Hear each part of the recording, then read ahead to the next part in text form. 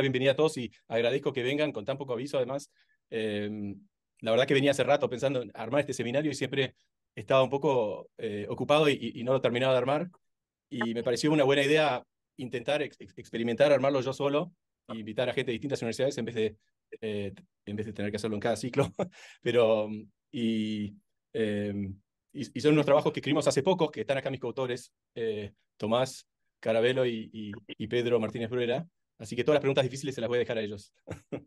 Em, bueno, sin más, largo un poco iba a poner esta, esta slide para, para sentar las bases de qué esperar en esta charla. Es una charla académica, yo sé que hay mucho interés en este tema más allá de lo académico y no voy a ignorar eso, eh, y, pero tiene, tiene un trasfondo de dos papers, eh, con lo cual es bastante académico. Eso quiere decir nada más que está enfocado, no quiere decir que uno no puede preguntar cosas de la realidad, y etcétera, pero que está enfocado eh, un poco más la discusión y no es un debate político a favor o en contra, cada uno tiene su posición por ahí, por ahí cambiante sobre la dolarización, eh, y no es una discusión de las muchas propuestas específicas, y, y, tampoco, bueno, cabe esperar que nos vamos a enfocar algunos eh, temas que están en estos papers, pero no todos los temas, o sea que van a quedar cosas afuera y durante la presentación y demás me parece que es mejor no hablar de las cosas que quedan, todas las cosas que quedan afuera, pero las preguntas sí me parece, al final eh, puede dejar lugar para preguntas, eh, ahí vale todo me parece y, podemos discutir muchas cosas. En particular, por ejemplo, en la dolarización que se propone, un gran argumento es que esto ata a los gobiernos futuros, no tengo nada para decir sobre eso a favor o en contra hoy, ah, así que quiero declarar las cosas que, de las que me abstengo de, de tener algo para contribuir hoy. Este, lo que tengo para contribuir es esto. ¿Cuáles son los costos de la dolarización? El beneficio es muy claro. Eh, reduce la inflación bastante rápido. ¿Y cuáles son los costos? Hay costos de largo plazo que todo el mundo eh, eh, se plantea, se discute, se conocen, que son el señoriaje que uno pierde. Eso fue importante, me parece, a fines de los 90, a principios de, los 2000, en las discusiones. y también la pérdida de, política monetaria independiente, que puede afectar la estabilidad macroeconómica y en particular también eh, la pérdida de prestamista de última instancia, o lo hace más difícil, ¿no? Em, lo que voy a contribuir hoy no es esto, que se sabe mucho de esto, podemos discutir algunas de estas cosas en las preguntas al final, pero lo que eh, voy a hablar son sobre dos papers que se concentran más en el corto plazo. Y me parece relevante porque hoy día la gente está muy harta de la inflación y está pensando en los beneficios de corto plazo y descontando mucho estos costos de largo plazo. Y eh, entonces plantear que hay algunos problemas o, con la transición o con eh, efectos inmediatos después de la dolarización eh, me parece relevante. Así que eso es lo que voy a hacer. Estos son los dos papers, acá unas fotitos y yo les puse unos enlaces a, los artículos. Este, déjenme decirles que con esta, estos panelistas de lujo, por favor interrúmpame si hay alguna eh, pregunta o duda de lo que estoy diciendo. Y mi plan es por ejemplo, si no hay ninguna pregunta, seguro que termino a la media hora o los 40 minutos. Y después abrir a preguntas y abrir un poco al, panel a preguntas y también a la, audiencia que puede tipear sus preguntas y las recogemos y vamos contestando. Así que eso me parece eh, un buen formato. Bueno, les cuento un poco cuáles son los resultados de estas investigaciones que hicimos. Eh, la primera es que hay dos formas, hay dos, no se distinguen mucho en las discusiones, pero hay dos nociones de escasez de dólares. Una noción es que hay una escasez para el problema, para la transición, que es la escasez de dólares del Banco Central o del gobierno para hacer el canje a pesos. Esa me parece la escasez que se discute más. Em, y esa es una. Pero otra escasez es relevante para lo que viene después de implementar la dolarización, y es la escasez en la población en general de dólares. ¿okay? Eh, y ya vamos, vamos, a discutir si alcanza con los 200 mil millones de dólares que tienen los argentinos en el exterior o no, pero se trata de eso. ¿Cuántos dólares tenemos como en la población desde el punto de vista de, de tener liquidez? Desde el punto de vista ex ante, los resultados que vamos a enfatizar es que cuando uno anuncia una dolarización y los dólares son algo escasos, y en ese caso lo que importa es esta escasez primera que, que va a haber un salto en el precio y en el tipo de cambio. Eh, tal vez por eso en las pasos, cuando eh, eh, parecía más probable que, que ganara Milei, que tiene las propuestas de dolarización, por ahí eso ayuda a explicar por qué había un, salto evaluatorio en el tipo de cambio no oficial el domingo a la noche. y además vas a tener una transición con más inflación, y postergar la dolarización o no puede tener efectos eh, de subir o bajar la inflación, eso depende. Y una vez dolarizado en el ex post, eh, tenemos los siguientes resultados. La dolarización se parece mucho a un, sudden stop, perdón el inglés, pero eh, parate repentino no, no, es algo que me parece que, que se usa mucho. y el tipo de cambio real se deprecia fuerte una vez dolarizado. Y hay una transición a partir de ahí, con inflación positiva. Y potencialmente también hay una recesión. Y acá lo que importa es la escasez, como dije antes, la escasez de dólares en la población. Bueno, esto es a, modo de resumen. Y yo diría que no, quiero aclarar que sé que hay algunas intuiciones relacionadas a eso. Así que acá del lado izquierdo pongo intuiciones que he escuchado en la radio, en la tele, de economistas que respeto. Todos tienen muy claro que si no hay muchos dólares para la conversión, no es posible dolarizar. O sea que lo hacen, la discusión es más bien por el lado de factible o no factible. ¿okay? Em, y, una noción de eso que escucho a veces, que me parece eh, eh, se escucha mucho, bueno, si yo puedo comprarlo al, precio de mercado, entonces todo bien, todo ok. Em, otra eh, nociones que escucho sobre el ex post es que una que estemos dolarizados no va a haber inflación y el tipo de cambio real va a ser el que existía antes. O sea, si vos hoy ganabas 500 dólares al tipo de cambio no oficial, también vas a ganar eso después dolarizado. Bueno, ya ven que los resultados anteriores contradicen esto. ¿Okay? Y lo otro que vamos a discutir es si, si alcanza con el, monto agregado de dólares en el exterior o bajo el colchón que tienen los argentinos. ¿Puedo hacer la pregunta para sí, vaya. la aclaratoria nomás?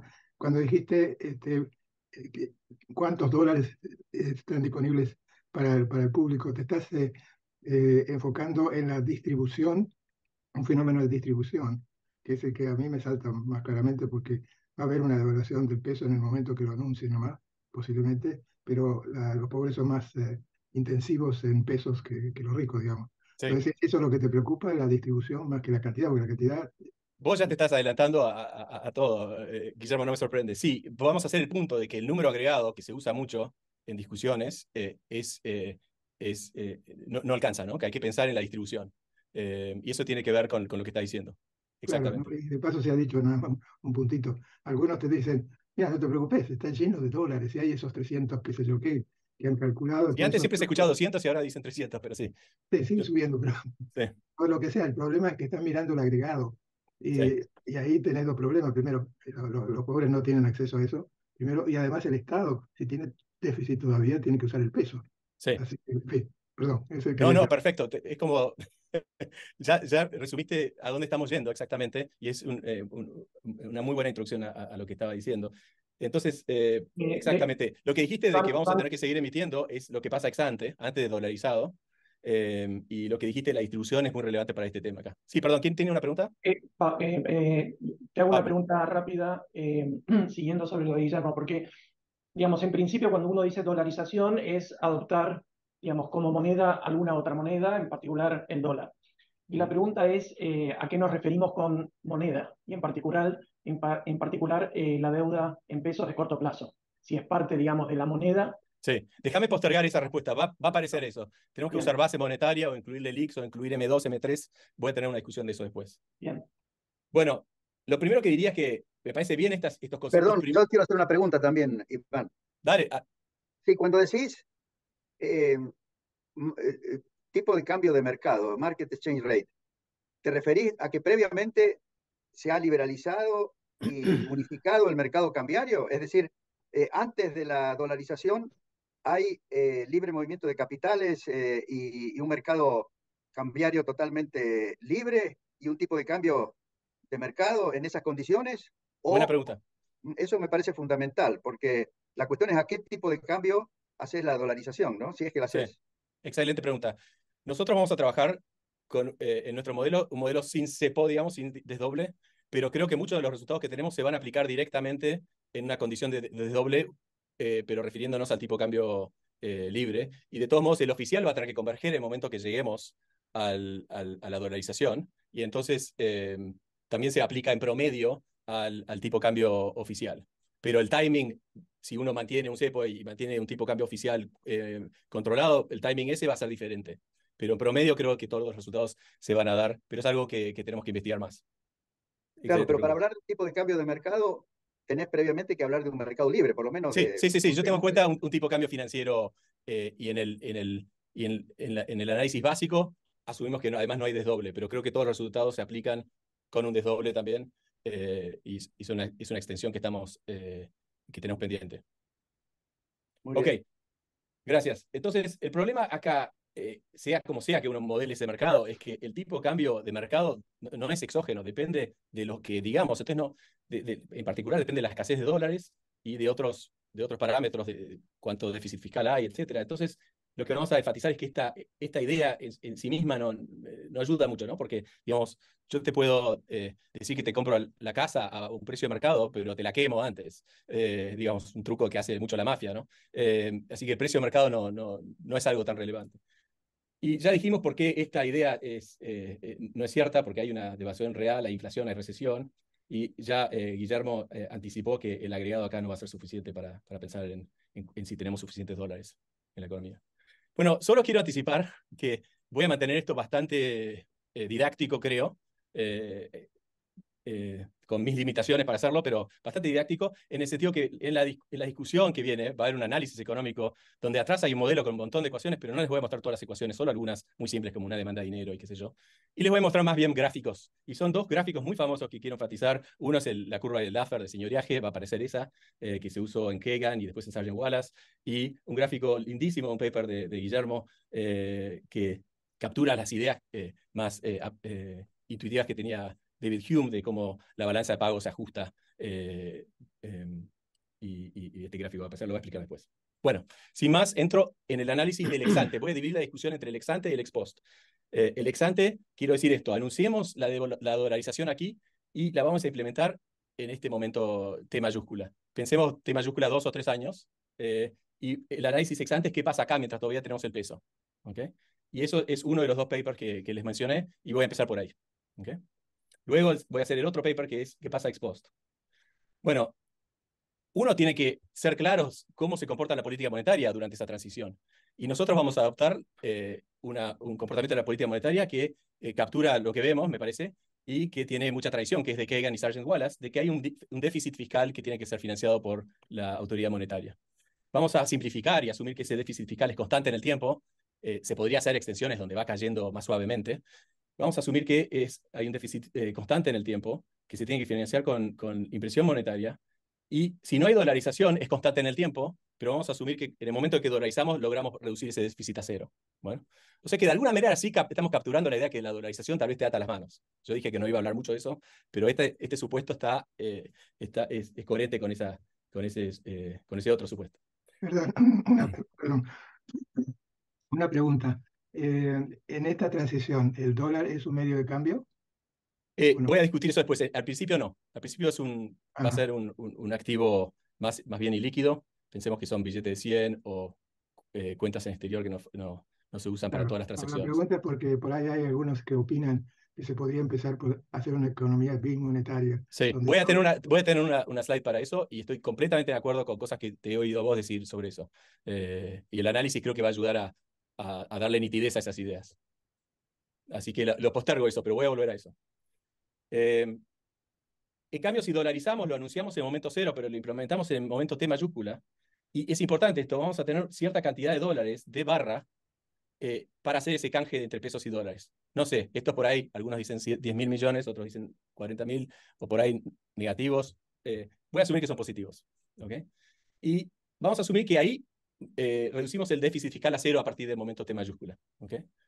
Eh, más tarde voy a, voy a hacer una, voy a, voy a comparar una dolarización versus no dolarización, donde también hacemos la reforma fiscal sin dolarización, que es por ahí comparar manzanas con manzanas. Ahora estoy comparando manzanas con peras porque voy a comparar no dolarizar y mantener un déficit fiscal con dolarizar eh, y hacer una reforma fiscal. ¿okay? Así que voy a, voy a mencionar el otro caso después. Bueno, pensemos, esto es básico, yo aprendí eh, con profesores como Fernando Álvarez y, Juan Pablo Nicolini, eh, cómo pensar en esto. Lo único que uno necesita es una demanda de dinero y la ecuación que define el señoriaje. O sea que la impresión, esta, el, numerador acá es la impresión monetaria, el cambio en, la cantidad nominal de dinero dividido el precio. Así que este lado izquierdo es cuánto puede comprar el gobierno en bienes con la emisión monetaria. Y eso tiene que ser igual al déficit. Así que esta es la condición de señoriaje que trabajó Kagan y eh, que me parece que, está detrás de muchas de las discusiones de política económica, monetaria y fiscal en, Argentina hoy. Así que estamos capturando dos ecuaciones muy básicas.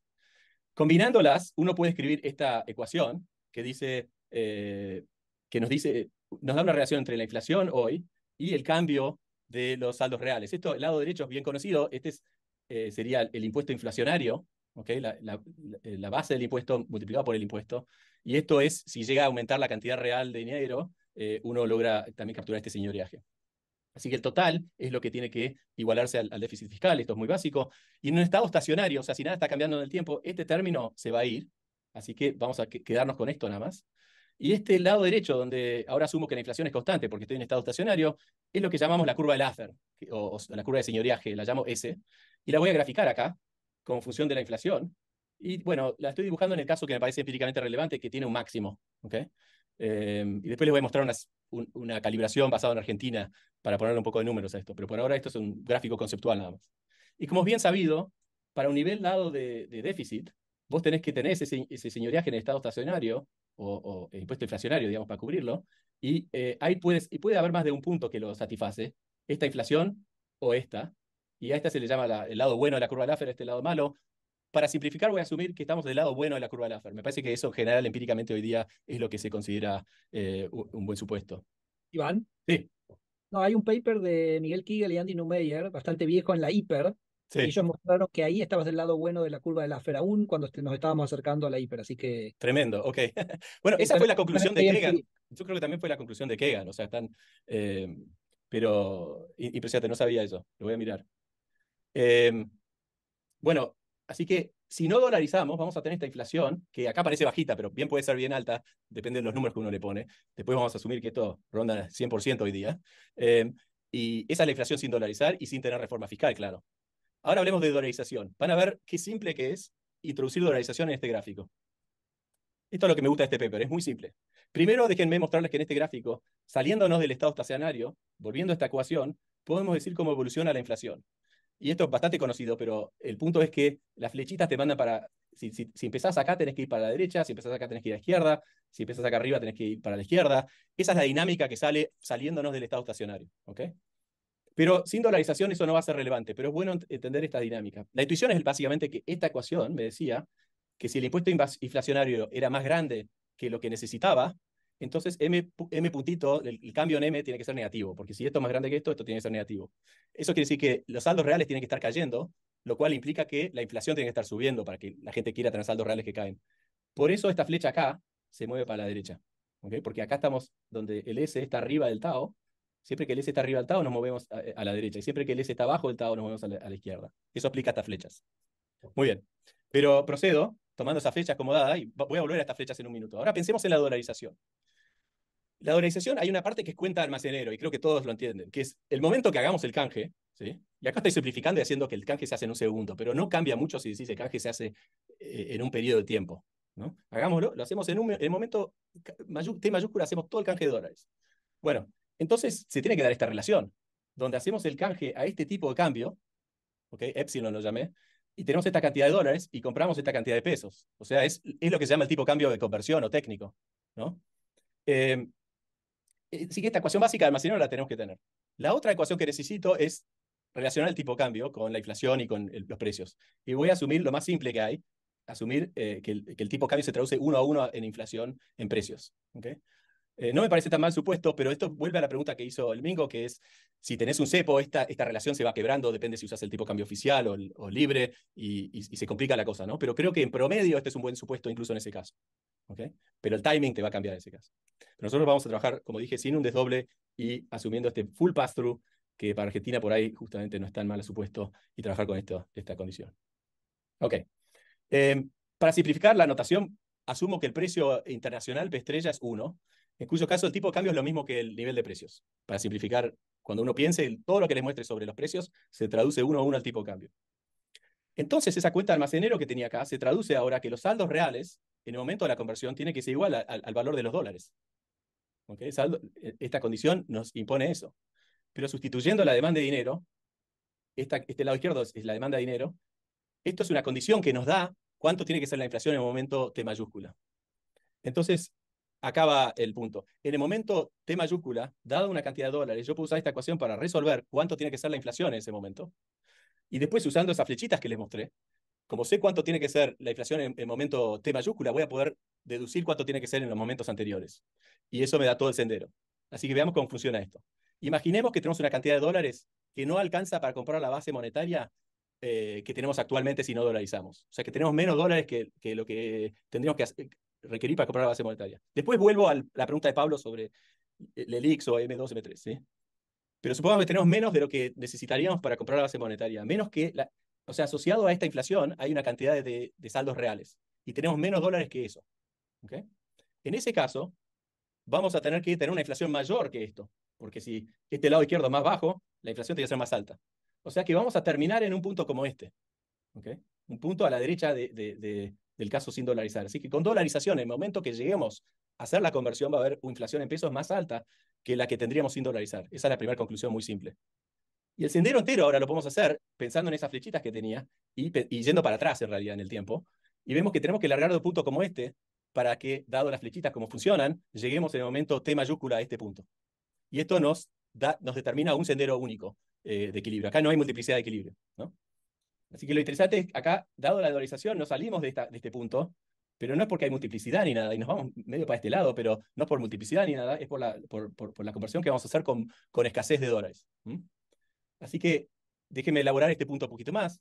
Lo que vemos acá es que la inflación en cada momento va a ser más alta en, este, en, este, en esta trayectoria que lo que fue originalmente si no dolarizábamos. O sea que dolarizar en la transición va a aumentar la inflación. Pero no solo eso, hay un efecto adicional, que es que en el momento que anunciamos esto, los saldos reales, la inflación tiene que saltar de acá a acá. Y eso implica que los saldos reales tienen que saltar. Pero si los saldos reales tienen que saltar y la cantidad nominal de dinero no, la estamos cambiando, tiene que haber un salto en el nivel de precios. Así que como los saldos reales van a ser menores una vez que anunciamos la dolarización, ¿okay? se sigue que va a haber un salto discreto en el nivel de precios. O piénsenlo en el tipo de cambio. ¿okay? Así que concluimos que hay un salto en el nivel de precios y después hay una inflación mayor con lo cual, por ambos motivos, el nivel de precios en todo momento resulta ser mayor de lo que hubiera sido sin dolarización. Y entonces acá resumo esta, esta discusión. Si hay una escasez de dólares, ¿ok? Em, pero, pero no demasiada escasez, va a haber un, nivel de precio mayor, una inflación mayor, y la otra conclusión es que la inflación está subiendo en el tiempo. ¿ok? Esa es la conclusión acá. Una cosa, bajo este equilibrio. Sí. pero la inflación futura baja la inflación después de la dolarización. Sí, perdón, todo esto bajo el exante, bajo la transición, mientras estamos con los pesos. Pero el, exante, el expost es importante para la demanda de dinero exante. Sí, no, pero no es así, porque esta la demanda por pesos. Y la, de, dólares va a ser más grande, exactamente, y ahí vamos a entrar en el expost, una vez que dolaricemos. Tenés toda la razón del mundo, una vez que dolaricemos no va a haber inflación. No, pero digo, en el modelo de Kagan, digamos, el sí si vos tenés que la tasa de crecimiento, la cantidad de dinero va a subir en el futuro, tenés un salto en los precios hoy. Por si pensás que va a bajar en el futuro, ¿no tendría que tenerlo puesto? Sí, pero este modelo se sale de Kagan, justamente. Es el mismo gráfico. Logro meterlo en el mismo gráfico, pero ahí, ahí está, cuenta almacenero en el momento T mayúscula. Y una separación entre lo que es peso y dólar es que no, no, no podés usar esa, eh, ese concepto ya de Kagan por esa, por estoy pensando, ¿no? sí, lo mismo, lo mismo, lo mismo. Gracias por la pregunta. Exactamente. Es un poquito, es como que es Kagan o Siderowski o, o, Sargent Wallace hasta el momento de T mayúscula, pero ahí tenés una condición terminal que es diferente a si siguieras con pesos. ¿okay? Lo bueno es que podés entonces ver todo bajo el mismo gráfico. ¿okay? Y varias de las intuiciones durante la transición son las mismas, excepto la que están eh, señalando vos. Claro, este... eso, y eso funciona porque yo me, estaba confundiendo antes porque no había metido el supuesto de que estamos mirando la transición. En la transición, la tasa de cambio el, peso va cambiando. Claro, Por eso puede haber esa diferencia entre inflación internacional e inflación doméstica en la transición. Exactamente. Este, ahora, ese, ese, no voy a entrar en esto, pero recordando que en el Ecuador, creo que luego que dolarizado, hubo una inflación en Ecuador en dólares eh, eh, relativamente alta por un año, una cosa así, que es un fenómeno diferente al que vos estás. Eso es diferente, pero voy a llegar a eso cuando hago el análisis ex post. Ah, Voy a tener un resultado parecido a eso. Bueno, les cuento qué pasa si tenés a, mucha escasez de dólares. Si tenés mucha escasez de dólares, lo que pasa es que la inflación en, la, en el momento de T mayúscula tiene que ser tan alto para que los saldos reales sean tan bajos que te pasás del otro lado de la curva de, de, de Laffer. Y entonces tenés que llegar a un punto como este y tenés que largar de un punto como este. Eh, pero la conclusión es la misma desde el punto de vista de que tiene que haber un salto en el nivel de precios y tiene que haber también un salto en la inflación, y por lo tanto el nivel de precios siempre es mayor. La única conclusión que es diferente es que ahora en el tiempo la inflación va a ser más alta inicialmente y va a caer, aunque va a caer a, un nivel y va a sentarse en un nivel muy alto hasta que dolarices, y una que dolarices no va a ser tan alto como eh, contestando de nuevo a, Federico, pero eh, la única diferencia es el timing, pero va a haber mucha inflación, va a haber un salto en el precio y en eso se parece mucho. Pero, Iván, te puedo hacer una pregunta ahí. Sí, ¿quién está preguntando? No veo. Pablo. Ah, Pablo, dale. Eh, no, en este gráfico, cuando vos eh, dibujás esa dinámica, no esta en particular, sino la anterior, digamos, de todas maneras, a medida que la inflación va subiendo, el señoriaje va subiendo. Es como que tenés un superávit, tenés más, más ingresos que el, que el déficit que tenés que financiar, que el TAU, ¿verdad? No, la pregunta es dónde no, no, no, no, yo siempre impongo esto. Entonces siempre estás emitiendo lo que necesitas para financiar el déficit. Pero no hay un señoriaje que está asociado a cada tasa de inflación. Claro, esta ecuación, esta ecuación se está cumpliendo siempre. Okay. Claro, creo que, digamos, entiendo tu pregunta porque ves que en el gráfico esto es mayor que, que, esto. Exacto. Pero, eso es culpa de que están cayendo los saldos reales. Okay. Porque como está subiendo la inflación, van cayendo los saldos reales. O sea que el cálculo es el que queremos. Eh, el hecho es, digamos, literalmente lo que tuviste que financiar. Ok. Ok, perfecto. Entonces, eh, ahora hagamos, estaba hablando de este caso con extrema eh, escasez de dólares. Hay una diferencia que es interesante, que es acá si postergás la dolarización, decís que en vez de en dos años la hago en tres, la hago en cuatro, o, la hago en el siguiente gobierno, no sé, ahí la cosa se pone peor, porque claro, tenemos que llegar al mismo punto, pero tenemos que salir mucho más a la derecha para llegar al mismo punto en el momento eh, T. ¿sí? Esto asumiendo claro que los dólares van a ser los mismos. Por ahí postergar para conseguir más dólares, ahí por ahí se cambia el cálculo. Pero manteniendo fijo la cantidad de dólares que vas a tener disponibles, postergar, en este caso, aumenta la inflación. Eso es el punto que hago acá, ¿no? Pero eso es un, poco, un poco una sutileza, déjame eh, no, no ahondar en detalles de eso. Déjenme contarle algunos resultados más acá y después mostrarles unos cálculos para Argentina y después ir al ex post. Primero que dije, esto era comparar manzanas con peras, porque estamos asumiendo que si no dolarizamos vamos a seguir con déficit, pero hagamos el cálculo para ver solamente el régimen monetario, asumiendo que podemos mm, eh, tal vez obtener el mismo reforma fiscal que bajo la dolarización. Entonces supongamos que ahora no dolarizamos, pero vamos a también reformar y reducir el déficit Acá se acuerdan, para simplificar, asumo que el déficit es constante y después se hace cero. Obviamente podemos pensar en algo más general, pero hagamos, lo importante es que voy a asumir que es el mismo sendero de déficit que el que asumí bajo dolarización. Entonces, ahora comparo manzanas con manzanas. ¿Qué pasa? Una vez que no tenga déficit, en este modelito muy simple voy a tener cero inflación. ¿Okay? Así que sabemos que vamos a llegar a cero inflación. Con lo cual, sin dolarización vamos a tener un sendero que llega a cero inflación y es más, es, es un sendero decreciente por lo que dijo Federico antes de que si llegamos a cero inflación, eso se traduce que antes va a haber también menos inflación, porque aumenta la demanda de dinero y, y también relacionado a lo que recién preguntó Pablo, como teníamos que emitir para, para financiar el déficit y aumentó la demanda de dinero, ahora tengo que emitir menos y eso también ayuda a que, vaya cayendo la inflación. Claro, lo, que estaba, lo que estaba mal, ahí me lo explicó Pedro en mi comentario anterior, es que en este modelo vas a tener menos inflación en el futuro, pero no en pesos. Claro. Porque va a estar en pesos. sí, sí, sí. Está listo, entendido. Gracias. Perfecto. Gracias, Pedro. Este, este, este paper, el 90% lo hicieron estos muchachos. Yo estoy acá eh, eh, presentándolo, pero cualquier pregunta difícil, de nuevo, pregúntenle a ellos. Bueno, entonces lo que quiero decir es que todos los resultados que teníamos antes, ahora que es manzanas a manzanas, se refuerzan en el sentido que ahora incluso si tienes una escasez de dólares, la escasez de dólares que necesitas para que se den los resultados anteriores es mucho más amplia. O sea, eh, necesitas tener menos dólares de los que vas a necesitar para comprar los saldos reales, teniendo en cuenta que los saldos reales van a ser más altos porque la inflación va a ser cero. Entonces eso amplía el, set de condiciones bajo el cual tenemos las conclusiones anteriores. Y esta acá le decimos gracias, Juanpa, porque fue él que leyó el paper y nos dijo, ustedes te están comparando eh, peras con manzanas. Pero Juanpa no pudo estar acá hoy porque tenía que ver el partido de rugby. Es más, creo que está en, Francia viéndolo en vivo. Bueno, eh, ahora menciono unos resultados muy simples, adicionales. Una estática comparada. Si si tenemos una cierta cantidad de dólares escasos por ahí, pero los, hacemos aún más escasos, ¿qué pasa? Bueno, pasa lo que uno espera.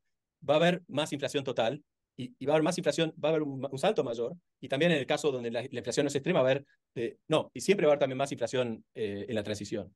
¿okay? Y hay más, les voy a mostrar después esta relación es muy no lineal. Así que una vez que se empieza a ser muy escaso eh, los dólares, vas a tener muchísima inflación. Puede haber una hiper, digamos. No sé qué número se usa para la hiper ya, 20% mensual o qué, pero bueno, eh, un resultado adicional que a mí no me parecía tan intuitivo, que es que la cuenta del almacenero no alcanza. Es la siguiente. Imaginemos que, tengo una cierta cantidad de dólares disponibles y de repente uno de los bancos que me iba a financiar se baja y tengo la mitad de los dólares anteriores. ¿okay? ¿Qué pasa? Una intuición que tenemos es que eso va, va a duplicar el precio, porque tenemos la cuenta almacenero en la cabeza, que el tipo de cambio se tiene que, tiene que ser el doble peor, digamos. Y no, este modelo tiene un, un feedback que hace que la situación va a ser peor que el doble. Y la razón es que cuando suben los precios, ahora todavía tenés que financiar este déficit. Entonces vas a tener que emitir aún más. Así que hay, una especie de, amplificación acá. Y eh, por estas necesidades de señoreaje. En conclusión, por ejemplo, si se reduce en 10% la cantidad de dólares, no es que el tipo de cambio va a ser 10% más alto el dólar, sino que va a ser más que eso. Ese es el, este resultado no obvio, me parece, o por lo menos para mí. Igual, la cuenta de almacenero es parte de este cálculo, solo que en el momento T mayúscula y uno tiene que pensar qué pasa durante esa transición. Bueno, acá unos numeritos que eh, sacamos ayer usando las estimaciones de curvas de demanda favoritos de Juan Pablo Nicolini, le echamos la culpa a él. Eh, y, pero hay mucho para discutir acá, no voy a tener tiempo, pero nos pareció interesante que ah, usando ese tipo de estimaciones nos da una curva eh, que por ahí parece bastante razonable y nos, nos, dice que estamos bastante cerca de este pico en términos de cuánto más podemos financiar acá, con lo cual me da un poquito de miedito este extra déficit que impusimos acá en, las últimas semanas. Eh, pero también estos gráficos simplemente a tener en cuenta, acá podemos interpretar este, el, el, gráfico anterior teniendo en cuenta este es una versión de eso calibrado para Argentina. Eh, yo, yo, tengo una pregunta. Sí. Eh, Iván, en esa transición, porque mm, si la gente sabe que va a venir una dolarización en algún momento, de repente el dólar se transforma no solamente en un activo líquido mundialmente, sino sabemos que va a ser el legal tender en algún momento. Entonces, y en, el momento, eso, la pregunta es, eh, si hay una posibilidad es que la gente eh, tome, de, tome de manera diferente los servicios que el dólar ofrece, no ahora, pero en el futuro, digamos. Va a ser más útil el dólar en el futuro. Ellos tienen el dólar ahora eh, en el bolsillo, pueden comprar más dólares. Eso podría hacer que la demanda de dólares eh, aumente. Absolutamente. Eso está en nuestro modelo en realidad, y no lo estoy discutiendo ahora, pero en el ah. trasfondo de este modelo, con, con más ecuaciones y, no solo los gráficos, eh, uno puede formalizar lo que estás diciendo. Déjame postergar un poquito esa discusión, porque eso es, es, la parte central de lo que pasa ex post. Pero déjame resumir un poquito, simplemente diciendo que lo que vos estás diciendo es cierto, que algunas de las cosas que, estoy, que ocurren ex post, donde ya te pones a, intentar acumular dólares, también ocurren antes y no las estoy enfatizando. Eh, porque quería mantener la discusión sobre inflación y esas cosas nada más. Claro, claro, nada más para asegurar. No, perfecto, perfecto. no me sorprende que, que, A veces se habla con mucha liviandad. Eso, hagámoslo que hoy, que el dólar sea medio de cambio. Ahora, ahora tengo una slide sobre eso, que totalmente de acuerdo con vos y creo que yo pienso lo mismo que vos eh, en eso. Okay. Les muestro un gráfico más cuantitativo, digamos, que es lo siguiente. Acá tenemos la cantidad de dólares como porcentaje de PBI. Eh, y acá cuánta inflación vamos a tener si dolarizamos. Okay. Eh, y si tenemos 4% de PBI, ahí podemos eh, tener la misma inflación que si no dolarizamos y si no hacemos reforma fiscal. En cambio, si tenemos más o menos 6,5%, podemos tener la misma inflación que tendríamos si no dolarizamos pero también hacemos la reforma fiscal en T mayúscula, que es menor esa inflación, que es como 50% en vez de 100, ¿no? Esta es el, este es el caso de Nicolini, digamos. No dolarizamos, pero hacemos la reforma fiscal. En ese caso, eh, la inflación es más o menos 50%, necesitas el 6.5% de PBI en dólares para comprar eso. Eh, ¿Qué pasa si tenés menos dólares que estas cantidades? Mira, esta es la inflación acumulada entre el momento que lo anunciás y el momento que haces la implementación del dólar. Y acá vemos que, que a menos dólares mayor la inflación. Y estos números son bastante grandotes, ¿no? Esto está hecho con dos años. Eh, sería más grandes con tres, por ejemplo. Em, pero vemos que se pone muy no lineal acá, ¿no? Este, pero bueno, ya son bastante grandes estos números en este rango, pero acá incluso FUM eh, se vuelve muy no lineal. Así que este es el gráfico para poner un poquito de números a la discusión. Esto ahora quiero hablar de lo que me viene preguntando Guillermo y decir más que nada, pues ya lo dijo, que concuerdo con él. En el, en el paper, acá les engañamos analizamos un caso donde la demanda de dinero es constante y no es afectada por el anuncio de la dolarización. En el paper mostramos que eso puede ser, bajo condiciones muy especiales, que ocurra, pero que en general, para supuestos me, parece mejores, lo que podemos mostrar es que la demanda de, dinero en pesos cae. Y cae eh, en el momento que se anuncia y además cae en el tiempo a medida que te acercas a la dolarización en algunos casos. Lo que demostramos en el paper es que eso solo refuerza las conclusiones, es medio intuitivo, como cae la demanda de pesos y todavía tengo que, este déficit, tengo que emitir más y eso solo eh, eh, refuerza todo el proceso inflacionario. Pero una implicancia, que es lo que viene diciendo Guillermo, eh, totalmente de acuerdo, es que decir voy a dolarizar en dos o tres años, pero en el interín voy a permitir o, incentivar el uso del dólar, se parece mucho a, pedir que se te reduzca la demanda de dinero por pesos. Y eso va a tener entonces mayor inflación. Esa es la conclusión que sale de este análisis. ¿Okay? Tanto un salto discreto como mayor inflación en el tiempo. Eh, y esto también se aplica a propuestas de bimonetarismo sin dolarizar. Si vos simplemente sin dolarizar proponés eh, un esquema bimonetario, eh, especialmente yo creo en un contexto de alta inflación, es probable que te baje bastante la demanda de dinero y dado que todavía estás en una situación de Kagan, de tener que estar financiando con emisión, vas a hacer peor la cosa. Eh, sí. Me ocurre que una posibilidad, no sé cuán realista es, que la curva del Laffer, como es peor, menos atractivo el peso de la transición, tenga un máximo, va, a ser menor. Absolutamente. no te alcanza para financiar el déficit fiscal, ¿no? Eso es un punto, un punto aparte del que estamos haciendo, pero que sí, esto, esto va a caer, se va a parecer más a esto, y puede ser que si este era nuestro déficit después de, después de eximir de ganancias a, mucha gente y, terminemos en una situación donde estamos por encima de lo que podemos. Bueno, eh, ahora quiero usar el, tiempo restante y, antes de llegar a, abrir a, preguntas generales y hablar de qué pasa en la situación ex post. ¿Okay? Eh, y acá lo que va a hacer es estudiar qué pasa después del momento T mayúscula. Para simplificar el análisis, y es lo que hacemos en el paper en realidad, analizamos eh, la situación donde lo anunciás y lo implementás ya mismo. O sea que es una forma simple de decir toda la dinámica entonces es ex. Pero todo lo que voy a decir se da una vez dolarizado si el T mayúscula era positivo. Entonces, perdonen. Em, lo que pasa después de dolarizar es que los saldos reales son dinero, son, son dólares. Y hay una pregunta si tenemos suficientes o no una vez que dolarizamos.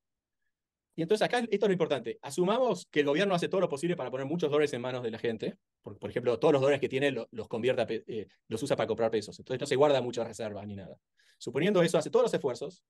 Eh, y también por ahí los privados, si tienen capacidad de pedir prestado en el exterior, las usan. Y una vez que usas todas esas herramientas, te tenés que hacer la pregunta cuánto dinero real tiene la población en términos de dólares. Ese es un número que va a ser importante. Y la pregunta es si ese número es muy bajo o, o no. ¿Okay? Si el M que resulta después de dolarizar, lo voy a llamar M0, es menor que un M estrella, que es el, el valor estacionario. ¿okay? Ahora les defino ese valor, pero vamos a decir que esa es una situación de escasez, donde vos tenés demasiado pocos saldos reales en dólares relativo a dónde vas a terminar estando en el largo plazo. ¿okay? Porque eso va a inducir una transición después de dolarizar que eh, va a requerir la acumulación de dólares y liquidez. Ahora les muestro. Les cuento un poquito más, en este caso, que antes, eh, lo que está detrás del modelo pero sin demasiadas ecuaciones ni nada. Pero, o sea, todo fundamentalmente voy a usar gráficos, pero muy rápido acá agregamos un sector de no transables eh, que se produce con trabajo y asumimos que ese sector puede tener rigideces nominales, pero analizamos tanto el caso sin rigideces como con rigideces. Y ya van a ver, pero cuando tenemos rigideces nominales, vamos a considerar que en el momento que dolarizan, todos pueden cambiar sus precios, porque la idea es que como tenemos que cambiar la unidad, eh, todos tenemos que cambiar el menú en el restaurante, todos tenemos que cambiar el pizarrón, entonces, aunque va a haber rigideces a futuro, en el momento que dolarizamos hay una gran coordinación de cambios de precios. Así que eso lo hace un poquito nuevo el análisis relativo a análisis que hacen un análisis donde un tipo de cambio está fijo, por ejemplo. Porque la dolarización se parece mucho una vez que dolarizás a un tipo de cambio fijo, y eso se comenta mucho, por ejemplo, se compara la, a, la convertibilidad. Eh, salvo por este supuesto que vamos a tener acá, que en el momento que dolarizás hay una gran coordinación de cambio de precio. Bueno, en el trasfondo también tenemos eh, esta función de utilidad. Lo importante acá es que hemos modelado trabajo, tenemos consumo de no transables, de transables y saldos reales, todos en la función de utilidad. Y esto es importante a nivel país, la acumulación de dólares, una vez dolarizados, es igual a la acumulación de saldos reales. Y eso va a ser igual al eh, el superávit en la, eh, em, de, la cuenta corriente. ¿sí? Acá estamos asumiendo para simplificar que la tasa de interés es cero internacional, es tan baja que no importa, esta es una buena aproximación. Ahora, lo que demostramos es que si la demanda de dinero es log, aunque tenemos no transables y transables, se separan completamente las soluciones de equilibrio y vos podés analizar el modelo como si no existieran los no transables y después traer y pensar en los, no transables. Y entonces, es un caso muy lindo. En el paper analizamos el caso más general también, numéricamente, pero analíticamente es muy útil esto, porque entonces hay una especie de desacople entre lo, lo transable y no transable. Puedes resolver primero todo lo transable, sin pensar en lo no transable, y no importa si rigideces nominales o no en los no transables. Resolvés eso y una vez que tenés eso, podés mirar qué pasa con los no transables. Así que déjeme enfocarme en ese caso. Y decir que acá, lo que más nos encanta es que básicamente deducimos dos ecuaciones que son las que trabajó Guillermo en un paper muy lindo del, del 81. Y básicamente es una ecuación de movimiento para consumo, una Euler equation y, una, y la ecuación que les mostré anterior de saldos reales. Y captura el, el, la dinámica de equilibrio, o si quieren, de desequilibrio de Hume, eh, que es lo siguiente. El, el equilibrio es, usando estas dos ecuaciones, estas flechas rojas que convergen a este estado estacionario. Y lo que te dice esto, y este es un, eh, un, un, sendero de ensilladura, saddle path, eh, y lo importante acá es esto, que si vos, para unos dados saldos reales, tomen como dados algún saldo real, este. Este es un saldo real más bajo que los saldos reales de estado estacionario. Estos saldos reales del estado estacionario es lo que yo llamo M estrella. Y esto sería por ahí M0. Entonces, si vos largas con muy pocos dólares, o en la época de Hume con muy poco oro, esto está, está capturando esa intuición que vos vas a consumir menos para tener un superávit e ir acumulando dólares o, o oro. Y eso es lo que está pasando en este sendero. O sea que si vos largás una economía con poco liquidez, ¿ok? En un, en, en, en un dinero, eh, eh, oro o, o, dólares, o, vas a tener una acumulación que te lleva en el largo plazo al estado estacionario más grande de, de, de esta cantidad de saldos reales. Pero en la transición vas a tener que hacer un esfuerzo para eso, vas a tener que consumir menos. O sea, la persona común no está pensando en todo esto en el equilibrio general. ¿Qué está pensando? Mm, tengo demasiados pocos dólares, entonces, para las eventualidades que necesito, y entonces voy a empezar a ahorrar un poco. Y como ahorran a nivel país, el país eh, está teniendo un, un superávit. ¿okay? Y, y, el país como un todo ahorra. Eso es lo que está ocurriendo acá. En conclusión, dolarizar, si nos pone en esta situación, en este M0, es lo mismo que un sudden stop, en el sentido que de pronto la economía pasa de no tener un superávit ni déficit, por ahí estaba en equilibrio, pasa a tener, que, a, tener o querer tener un superávit. ¿okay? Con todas las implicancias que eso va a tener que les muestro en un momento. Pero acá ya ven el punto principal, que me parece bastante intuitivo, por ahí, siempre la, almacén, la, la, cuenta almacenero al final está bien una vez que estás guiado con, la, con, las, con, las, con el modelo, pero la cuenta almacenero es, mira, me faltan dólares, si me faltan dólares voy a tratar de ahorrar, y, y, y si eso pasa es lo mismo que si me pusiera a ahorrar un montón y tuviera este superávit. Les muestro qué pasa entonces con el resto del modelo. Ahora miro los no transables. O sea, hay otras condiciones de equilibrio, no les voy a mostrar, son básicas. Tasas marginales de sustitución igual a precios relativos, etcétera, muy microeconómicas. Lo importante es que estas condiciones, si los precios son flexibles, implican que hay un desacople de los no transables también. Los no transables, las cantidades no van a reaccionar a lo que pasa en, en el sector transable.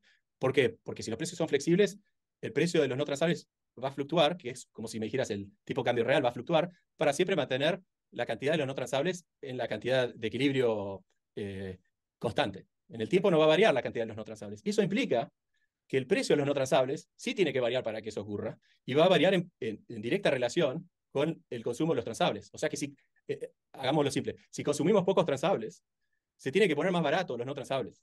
Se tiene, tenemos que tener una, una real. Aunque, estamos, aunque estamos atados al dólar, el tipo de cambio real de Argentina eh, se va a devaluar. O sea que, desde el punto de vista de un trabajador que ganaba 500 dólares antes, no va a ganar 500 dólares. No, va a ganar menos en dólares, según este cálculo. Y en el tiempo vas a tener una transición ¿okay? hacia el estado estacionario. Entonces acá estamos graficando el precio, después del shock este, que va, va a ser básicamente imitando completamente lo que pasó con las cantidades de transables. Como todo vuelve a su estado estacionario, también los precios vuelven al estado estacionario. Esto es cero es relativo al, estado estacionario. Eh, y esto logra que el consumo no caiga. El consumo no, se mueve, el consumo de no transables. El consumo transable sí se movió. Bueno, déjenme contarles qué pasa si los precios son no flexibles. Y creo que esto, digamos, todo el mundo entiende esto. Si ya les hice, por analogía, dolarizar con pocos dólares es lo mismo que un sudden stop, sabemos bien que un sudden stop con, con, con rigidez nominales no va a tener un efecto sobre las cantidades. Vas a tener una recesión en particular. Así que la conclusión que sale acá va a ser esa. Les muestro cómo, cómo, cómo se sigue. Largando del caso con precios flexibles, si asumimos que, que, que, se pueden ajustar, pero muy poco, otra vez usando un trabajo de Guillermo, de cómo, de, usando rigideces a la calvo, eh, si asumimos que los precios no se pueden ajustar en momento cero, van a tener que caer al principio, porque es como que quieren, eh, querrían devaluar, pero no pueden, querrían bajar los precios de los restaurantes, etcétera. Todos los restaurantes querían cobrar menos en dólares, pero si están rígidos no pueden, entonces caen de a poquito y luego se van recuperando. Eso es lo que pasaría.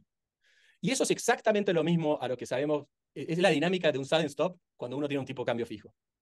Entonces ahora sí ves que acá tenés una recesión que se va componiendo en el tiempo a medida que eh, la cosa se recupera. Pero esta solución no es la que habría si podés modificar los precios en el momento cero. Por ejemplo, para distintos valores de los precios tenemos distintos senderos. Voy a poner varias punteadas. Y, lo, y este precio es como que te pasaste de rosca. Bajaste tanto el precio que después como tus precios son algo rígidos, quedás debajo de donde querés estar. Entonces, el equilibrio naturalmente está en algún lado intermedio, donde los bajás, o sea, la gente baja el precio de los restaurantes, o se baja sus salarios reales en dólares, pero no tanto, y este es como una solución intermedia, y este es el equilibrio, la, curva eh, no punteada.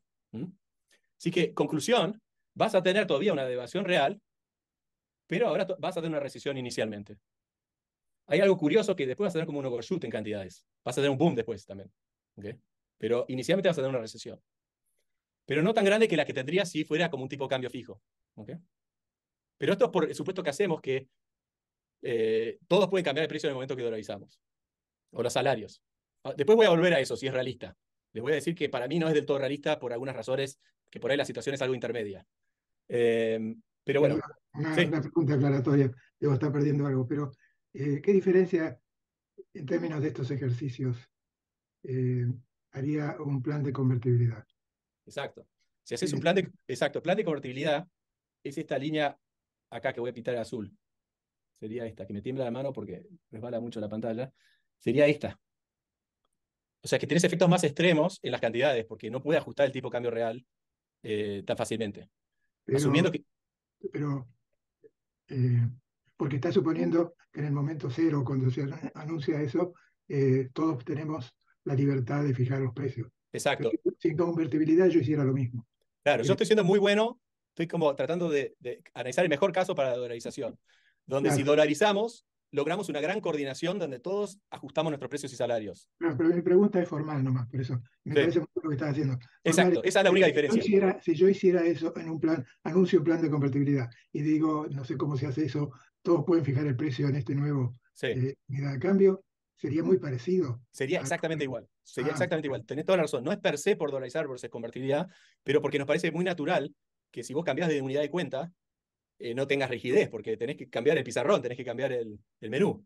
Eh, ah yo creo que lo lindo de esto, perdón que ocupe el tiempo, pero este, es que estás hablando de algo que no se habla mucho en, en, este, en estos términos, de un cambio institucional, eh, como estás haciendo. Y, y este, a lo mejor si uno se pone a pensar en esos términos, hay otras cosas que se podrían hacer que hagan más factible o menos reducir el costo social. Es lo que está pasando en tu ejemplo, ¿no es cierto? Absolutamente, tenés razón. Es, está relacionado a lo que dice la gente, que el momento que hagas la, la, fijación de un tipo de cambio, primero ajustes precios relativos. Eh, este, no está, está algo relacionado a eso. Pero me parece que dolarizar es una manera medio de obligar a la gente a ajustar. Eh, pero bueno. Bueno, procedo pero solo quiero decir que Guillermo sí ha pensado en estos temas de unidad de cuenta bastante más profundamente que yo, eh, así que creo que entiendo de dónde vienen sus preguntas ahí. Eh, bueno, pero es por un cambio de unidad de cuenta que se nos ocurrió permitir, en el caso de dolarización, un gran cambio de, precios en el momento cero. Después voy a decir que no me parece tan realista asumir que eso se da tan fácilmente, pero lo, digo ahora. Básicamente, creo que la idea que podés cambiar está, pero si la gente no es hiperracional, tal vez se queda atada por alguna rigidez nominal o psicológica de que quiere ganar lo mismo en dólares o quiere tener el mismo precio de su restaurante en dólares.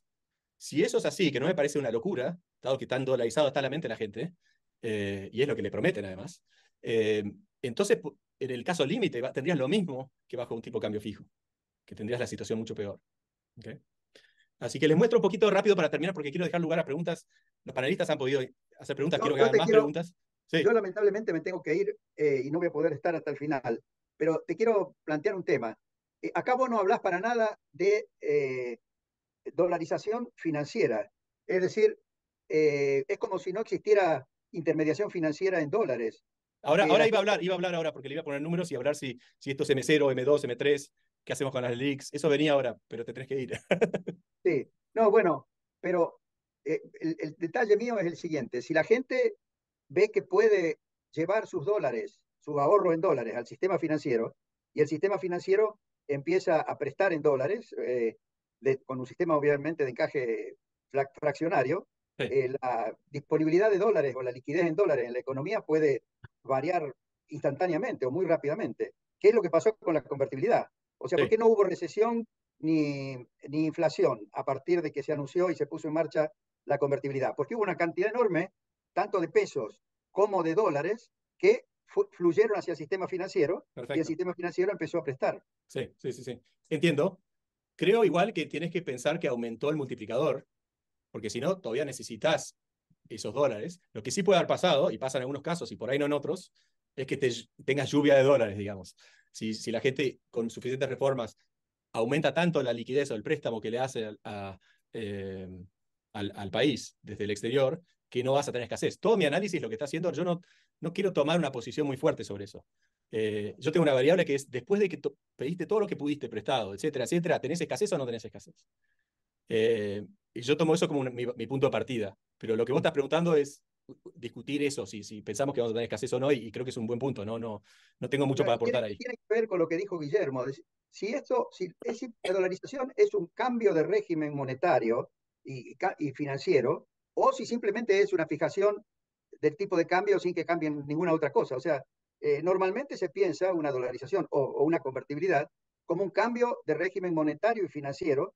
Eh, o sea, eso es, bueno, pero perdón, me gusta mucho el paper y lo, voy a ver más en detalle, pero te agradezco. Yo lamentablemente me tengo que retirar porque teníamos a esta hora un, me vienen a buscar para un compromiso ineludible. ¿eh? Perfecto, gracias, amigo. gracias por los comentarios. Estamos al habla.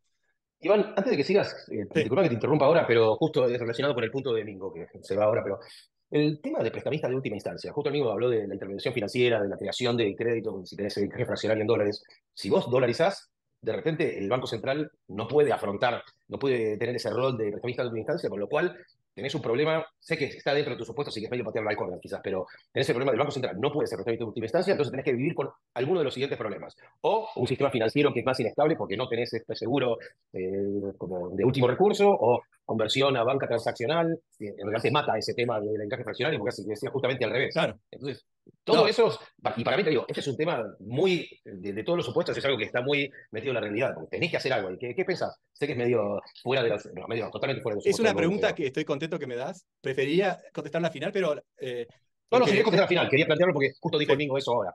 perfecto, perfecto. Me parece, la, la, contesto en un par de slides porque está relacionado a algo que voy a mostrar. Eh, ok. Me guardo entonces para contestar eso en un segundo. Déjeme, lo mismo que hice antes, ponerle numeritos a estos gráficos y lo voy a hacer usando parámetros de la literatura, nos apoyamos mucho en la literatura. Eh, y eh, para no tardar mucho, me voy a saltear un poco la mayoría de estos parámetros, pero decir que son básicos de la literatura. Para balances monetarios, acá pensando en M0, estamos usando 5% en vez de 4%, porque estamos imaginando los balances que vas a tener después de que reduzcas la inflación. Eh, así que un poco más altos. Y la pregunta es, ¿cuánto hacemos que es la reducción? Acá no estamos usando números, no sabemos, depende de cuántos, cuánta escasez de dólares hay. Entonces, vamos a hacer algo acá muy simple y decir, imagínate que largas con la mitad de los dólares que necesitas. ¿Ok? Es como, esto, esto, al elegir la mitad te das cuenta que estamos haciendo algo eh, muy simple, donde este es el parámetro que vos puedes variar en tu casa. Estoy contento que lo hagas y les puedo mostrar cómo, cómo da, digamos. Es simplemente para ilustrar. Bueno, esto es lo que pasa, ¿no? Largas con la mitad de los, de, los dólares que necesitas, perdonen. Eh, acá la mitad, ¿no? 50%. Y a, medida que pasa el tiempo, va recuperando. Esto es en, cuatrimestres. Eh, y lo que está haciendo es ese esfuerzo que dijimos antes de consumir menos de los transables para poder ir acumulando este dinero. ¿okay? Esto es lo que está pasando con los consumos de transables. ¿Qué está pasando con el consumo de los no transables? Bueno, si los precios son flexibles, que es la línea azul, no pasa nada. Pero acá también estoy incluyendo el caso donde los precios no son flexibles, aunque los puedes ajustar en el momento cero, y ahí sí hay una ligera recesión inicialmente en los no transables, que es la línea roja. El consumo agregado, que es una mezcla de los transables y no transables, también está cayendo entonces, por ambos motivos. Eh, y todavía tenés esta devaluación real, o sea, los restaurantes están más baratos y la gente está cobrando menos en dólares, esto es lo que está pasando. Tanto si los precios son flexibles como la línea azul, como si no lo son, en realidad acá con nuestra calibración no cambia tanto la cosa. Por eso la recesión acá es, de 1%, aunque el consumo de transables cae 6%. O sea, la gente se va a tener que acostumbrar a no ir a Miami y no comprar tanto iPhone, pero va a consumir un poquito menos en los restaurantes, no tanto menos porque va a haber una devaluación real bastante grande. Y el salario real lo mismo, porque es como no transable. Bueno, eh, ahora, esto es muy rápido. ¿Qué pasaría si en lugar de calibrar a la base, calibro todo a M2? Y es muy parecido a hacer Lelik. En realidad, si haces base más Lelik, es más grande que esto. Se duplica todo por dos, básicamente, si vas a M2, justo da con el nombre. pero, y, si hace el elix se multiplicaría por 3 más o menos. Y así que es bastante eh, lógico. Eh, ok, y acá hay una pregunta que es relacionada a lo de, acá es donde que hubiera querido discutir eh, con, con Mingo y decir que no sé la respuesta. Y lo mismo con Demian. No sé la respuesta.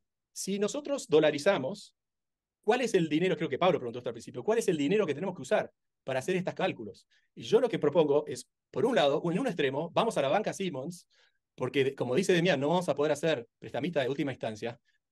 Sí, podés armar un fondito como hace Ecuador, pero ¿sabes qué? Cuando hay un shock agregado, ese fondito no va a servir de nada. Eso es para el problema de liquidez micro.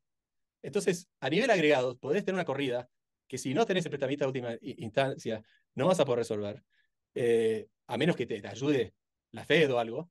Y, eh, en cuyo caso, en, en, un extremo te vas a, un sistema bancario eh, con 100% de reservas, o permitís que los ciudadanos depositen en el exterior, que es lo mismo desde el punto de vista nacional, y, y en ese caso el número correcto tendría que ser M2, por ahí incluso M3, porque tenés que pensar en, en, en los plazos fijos también.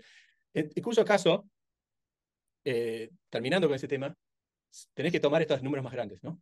Ahora, si pensás que podés permitir todavía un sistema bancario fraccionario y jugártelas por ahí un poco con el problema del, o, conseguir que la FED te dé un swap line para que te rescaten cuando eh, ocurra eso, eh, por ahí querés hacer el de base o por ahí querés hacer algo entre medio. no lo sé.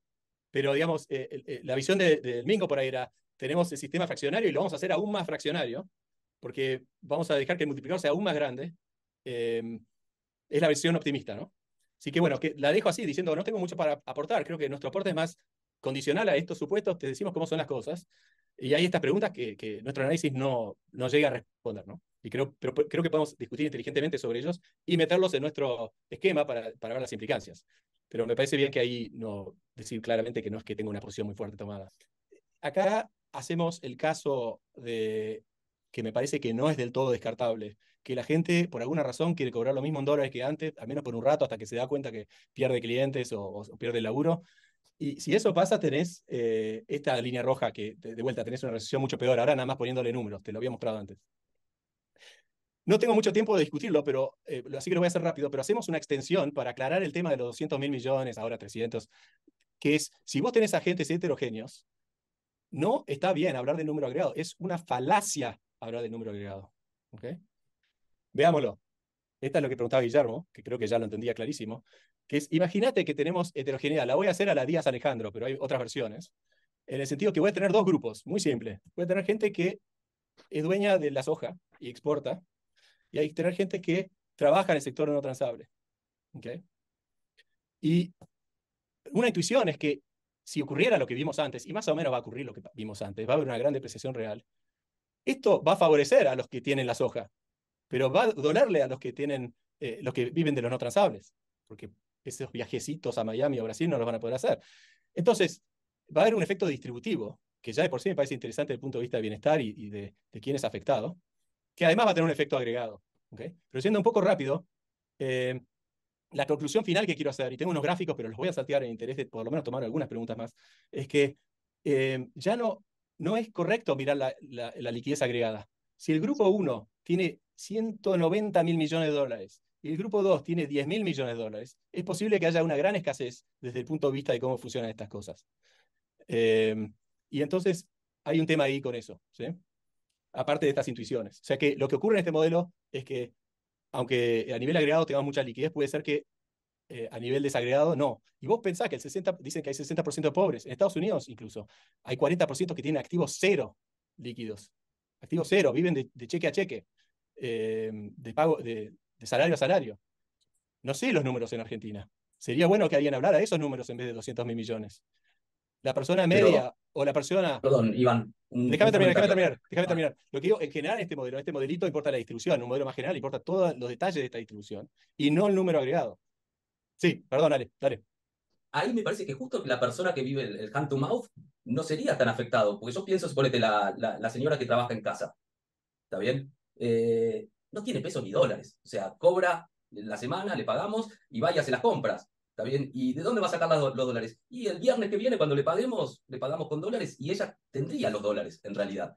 Esa no me, no me, parece tanto el problema. El problema me parecería más, si querés, de distribución, no sé, un jubilado que no tiene el ingreso y tiene, digamos, el, el, el stock de pesos, que a ese sí lo haces, lo haces parcha, pero el, el, el hand to mouth no, no, es hasta la, la próxima semana. No, creo que está mal lo que decís, porque si la persona no tiene dólares ya ahorrados, va a tener que empezar a ahorrarlos para, porque hoy tiene pesos, en general tiene pesos. No, pero es que justamente el, el no, que no, vive, de decir, el caso es, tiene 40% tiene cero activos. No, no, no, no, tienen, pero tienen ciertos pesos, digamos, de, de, de dinero, no tienen activos en un banco. Viernes, no, no, no gastó, al otro viernes ya se lo gastó. No, si, si es así, si no, si no demandan dinero hoy y viven sin liquidez, entonces, y, y, así van a querer vivir una vez que dolaricemos, tenés razón, pero en general eso no es el caso. Cuando hablamos de alguien que no tiene activos, no decimos que no tiene, digamos, algún M sobre P de acuerdo a sus, que no tiene activos extra, no tiene activos extra, eso es lo que estoy hablando.